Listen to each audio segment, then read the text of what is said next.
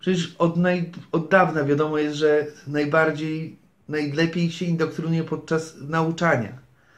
Bo człowiek przychodząc na jakikolwiek wykład coś chce chłonąć wiedzę, a jednocześnie zostaje mu wciśnięta do głowy ideologia.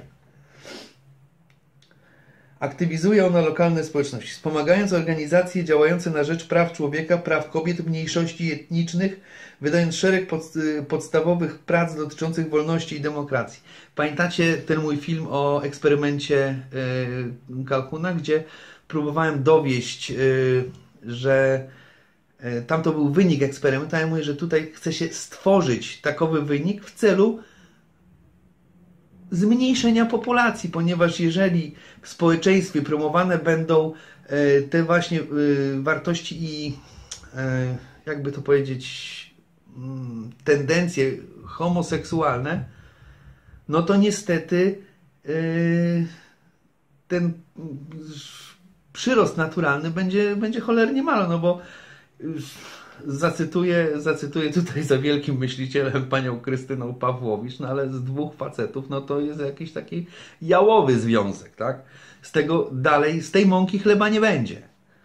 No i tutaj, jeżeli y, sprowadzimy, y, zmniejszymy populację, tak przyrost naturalny, potem z tego samego eksperymentu y, dalej mój tok myślowy szedł właśnie te zaspokojenie wszystkiego, tych właśnie takie akceptowanie wszystkiego, tych pozbawianie y, ludzi, tych bodźców takich, z którymi oni się mogą w jakikolwiek sposób y, stawiać im czoła, to, to też osłabia potencjał społeczeństwa. To społeczeństwo staje się apatyczne. Przyjmuje wszystko tak, jak jest i ma w dupie, co się wokół niego dzieje. Moim zdaniem, y, jeżeli są nawet jakiekolwiek lokalne, lokalne konflikty między różnymi grupami, w jakikolwiek sposób y, ze sobą się spierają, walczą, y, protestują, to jest dobrze, bo to są te bodźce, które mobilizują nas, ludzi, do tego, żeby myśleć.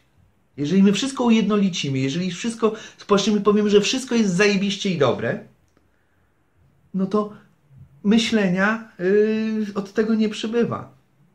Ja zawsze powtarzam e, mojej córce, że najważniejszym mięśniem, który ona musi rozwijać, chociaż wiem, że to jest, e, no może nie, no nie, nie zgadza się, z, że tak powiem, z anatomią, ale najważniejszym mięśniem jest mózg. Dopóki myślisz, dopóki ćwiczysz ten mózg, to jesteś naprawdę wolnym człowiekiem. To daje siłę. Nie biceps, nie triceps i tak dalej, tylko ten mózg daje siłę siłę argumentu, do, wspiera, do y, argumentów w sporach, y, w dyskusjach. Tutaj można, można walczyć, to niekoniecznie trzeba umieć walczyć, posługiwać się orężem, ale także słowem i argumentami. Jeżeli tego, jeżeli my przyjmiemy, że wszystko jest ok i nie ma co się spierać o nic, no bo wszystko, wszystko akceptujemy, to ten mięsień zanika. Jeżeli to wszystko tak ujednolicimy i tak dalej, wprowadzimy te wszystkie, y, wszystkie te prawa, które zrównują y, osoby homoseksualne. Nie mam nic przeciwko nim. One są równie dobre, mają prawo istnieć, ale nie można promować tego.